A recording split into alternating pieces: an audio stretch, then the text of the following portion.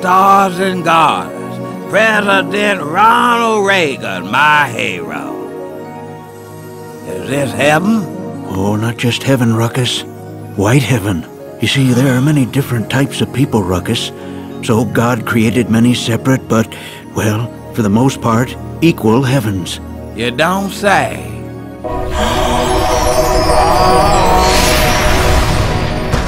White heaven is for decent, good, God-fearing Christians who just happen to, well, hate everyone and everything relating to black people.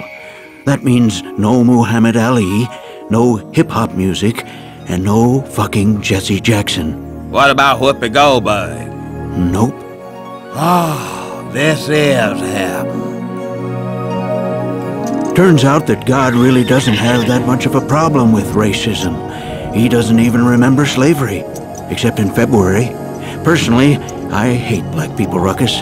That's why I did everything I could to make their lives miserable. Crack? Me. AIDS? Me.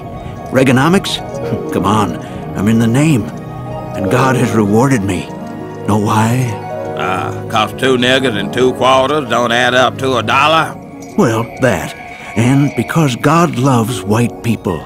And if you teach everyone on Earth to love the white man, you too can join us in white heaven. Oh, oh, oh, praise white God.